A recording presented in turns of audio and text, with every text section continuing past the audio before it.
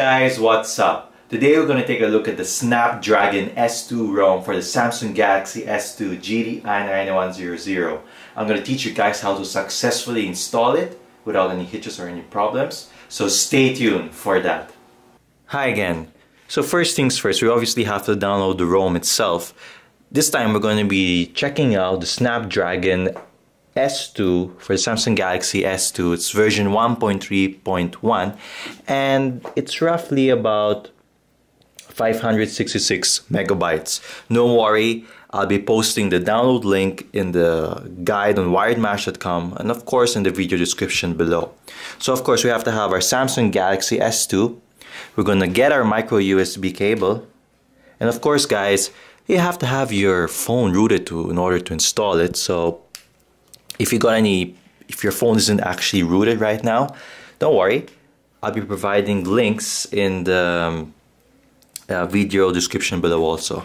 As you can see it opened up already so we're gonna transfer the file. So we're gonna head over to the SD card or you can also install it on your internal storage if you wish. So we're gonna paste it there. I'm gonna give it some time to copy and um, I'll be back once it's done. So once it's done copying to the SD card or to the internal storage, you can easily remove the micro USB cable and that's it. We're gonna switch off the phone right now. So once your phone has been powered off, we've got to head over into recovery mode to install, of course, the Snapdragon S2 ROM. So all you have to do is to press uh, volume up, home button, and power button all at once for 10 seconds and your screen should flash twice. I'm talking about the Samsung Galaxy S2 logo. So as you can see the first flash is done and the second flash is done also. So at this point I will just wait until it goes into recovery mode and we can let go of you know holding it. So of course we've got to wipe data, uh, do a wipe data partition and uh, wipe uh, cache partition prior to installing the ROM so that of course uh, we won't have any issues. And of course we're coming from a different platform and different ROM and this might mess it up in the long run. So doing this is a need. So once we've done the with the wipe data factory reset we head we'll head over to wipe cache partition. All right so we're done with that. We're going to install zip from SD card choose zip from SD card. We're going to find Snapdragon S2 and yes we're going to install it it's going to open the package and it's going to probably take a few minutes to install. So it roughly took about uh, 3 minutes to install. So once you're done installing, we're going to head back to the main menu.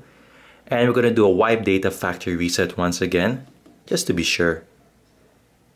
And we're going to do a wipe uh, cache partition also.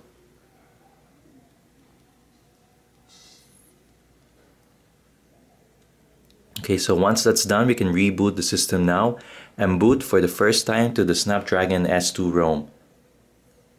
And of course, folks, um, give it some time to boot up. Um, it usually takes a long time for the initial boot, so just be patient with that. So it finally booted up and we're presented with the setup screen. So we're gonna of course choose our language.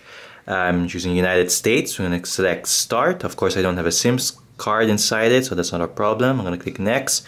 I'm gonna skip the Wi-Fi. I'll set it up later on. I click next again for the time. Uh, skip the Samsung account. Uh, skip the Google account. I'll do that later on, of course. Next, next, next.